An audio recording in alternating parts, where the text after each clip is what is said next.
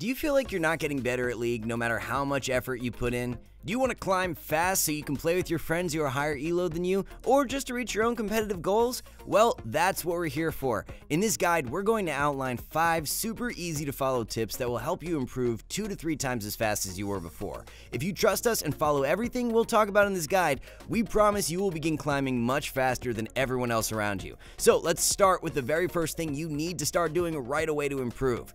Here's something you may have noticed if you watch higher elo or pro players play. Ever notice how they're always getting super greedy in their recalls? They often barely get it off, avoiding being cancelled. Well, most of the time they get out at least. Sometimes you can cue the laugh track of their failed base attempt. You may often wonder why they take these crazy risks just to save a few seconds. Why not just back off further and take a safe and guaranteed recall? This brings us to our first and most important tip at improving at League of Legends being hyper efficient. League is a game of seconds, and unfortunately for you, high elo players just have more time in the game than you. You could have the exact same macro knowledge as a challenger player, and it may not matter because you're just slower at everything you do. Challenger players clear waves, farm jungle camps, recall, rotate around the map, kill wards, do objectives, etc., all of it faster than you do. Every second that they save can often turn into a snowball effect that saves them more and more time later on. Here's an example of how this could be the case. Let's say a pro player farms some waves in bot lane 5 seconds faster than a gold player would.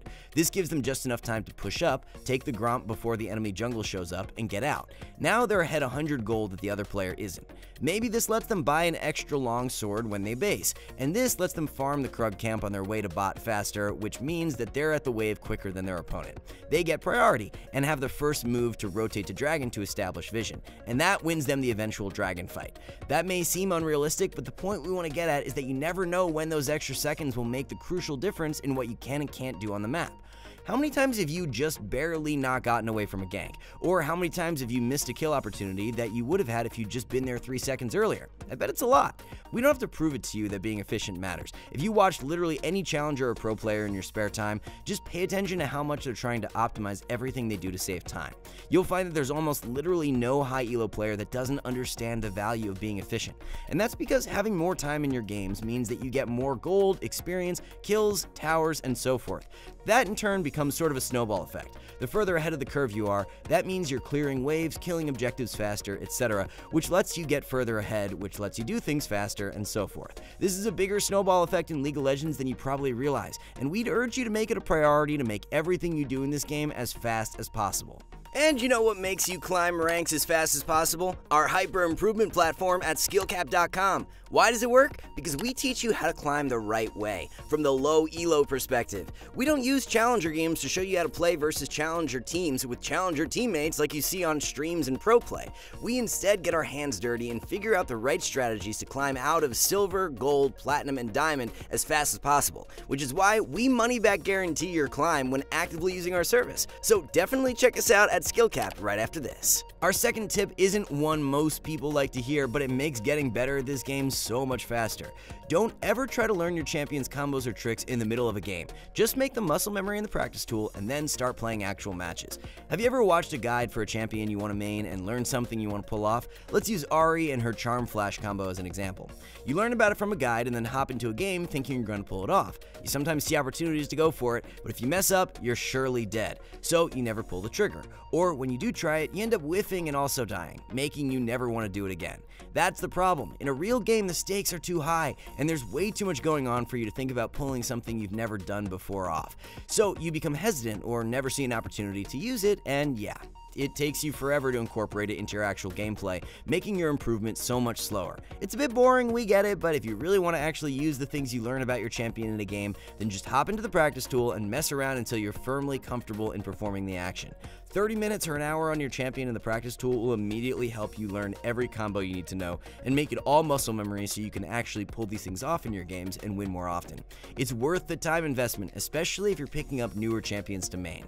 Our third tip may sound like it's really troll and dumb, but it's something we highly urge you to make a priority in your games, and it's to avoid team fighting in this game as much as possible. That's crazy, right? This is a team game. You can't avoid fighting with your allies, especially over objectives, no?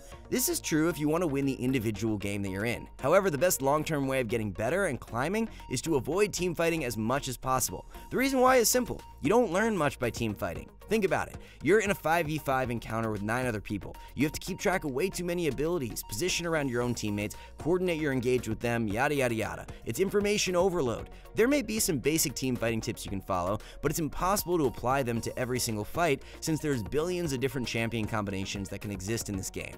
Ultimately, good team fighting just comes down to instinct, which we can't teach that much, and it's even harder to learn and apply. Plus, there's two massive benefits to never team fighting, and they will help you climb way more rapidly. If you ever watch a high elo player playing in a lower elo bracket, you'll notice how it's very rare for them to actually fight with their teammates. That's because they know they have way more agency over the outcome of a fight the less people that are in it. Your actions matter way less in a 5v5 than they do in a 1v1 or 2v2. In those smaller skirmishes, your actions affect the outcome way more, allowing you to consistently come out ahead rather than hoping your teammates play well in a fight. If you feel like all your games are coin flips, this is probably why. Of course, you don't have any agency if all you do is group with your team and hope everyone plays well together, but the more important benefit is actually the easier time you'll having improving. Team fights can go wrong for way too many reasons. Did you have good vision control? What cooldowns and summoner spells are up? Did the enemy team just get a good engage off, or was one of your teammates just out of position? Did everyone press their ultimates correctly? Etc. etc. But in those small skirmishes, you can pinpoint precisely what the problem was every time, and you can learn from it easier. And then in the future, you'll know how to engage in those similar encounters to make sure you always come out on top. This is why you should avoid team fighting as much as possible. Try to find smaller skirmishes before an objective happens so that you can secure it without ever having to 5v5. Or just don't go to the objective and choose to split push instead, or look for picks prior to the fight. Even the support role can avoid team fighting by going for picks with vision control or collapsing to help their side laners. We're not telling you to never team fight, and it's definitely not the worst thing you can do in a game. However, so much of the player base improves so slowly because of how often they just group up with their teams every single game. Again, it's not that it's always wrong to team fight, and you may lose games by not doing it, but it'll make your learning process so much slower in the long run, which is why we urge you to go for alternative ways of winning. On to our fourth tip. If you've played team games for a while, you may be familiar with a rule we're about to bring up the 40 40 20 rule. Coaches or players will often tell you about this rule to ease your woes about having bad teammates. The rule goes like this 40% of your games are unwinnable because your teammates will just suck. 40% of your games will be free wins because you'll have good teammates. And the other 20% of games are the ones where your actions truly mattered to the outcome of the game. It's a nice rule, but we don't really like it that much. Players often get confused by what it even is saying. Does it mean that you don't try 40% of your games because you lost anyway? What about when you have a good teammate? Do you just sit back and chill, enjoying the carry?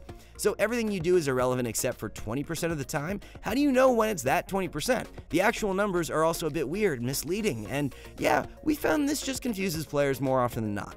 Ultimately, it's just a crutch people tell themselves to not tilt about having a bunch of bad teams in solo queue.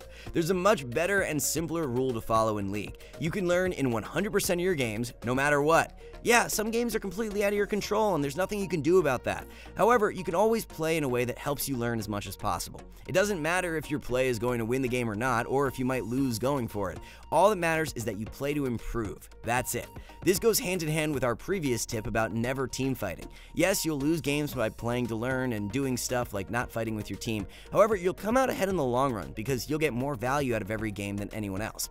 You'll find that the outcome of every individual game you play won't matter because you'll be improving and gaining elo naturally, rather than trying to brute force a win in every single game.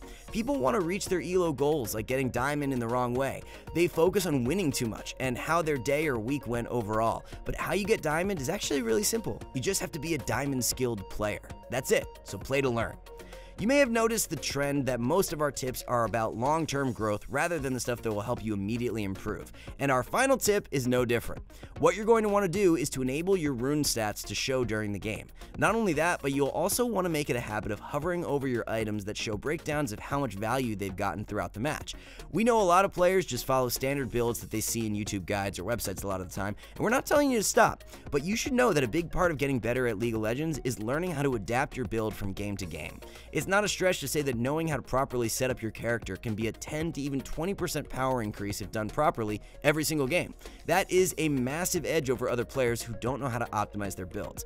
And the only way to get this advantage is by learning to see patterns for when certain runes or items perform best. For example, if you always default to the bone plating rune in the resolve tree, you'll quickly realize when it's good and not to take it if you have your runes showing constantly. Versus ranged laners, they're able to easily poke it off with a single auto attack, meaning that you'll get close to zero value with this rune during the lane phase. If you play with your rune showing, you'll very quickly begin to see how awful it is to take, and you'd quickly learn to adapt to something like Second Wind in those type of matchups.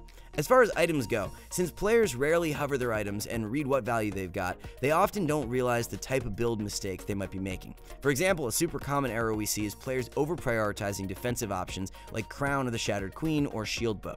But if you actually hover those items, you'll soon realize just how little they blocked in most games. We're asking you to do this not because you'll become a build expert immediately, but because over time you'll learn to spot patterns for when certain runes or items are good and when they're not.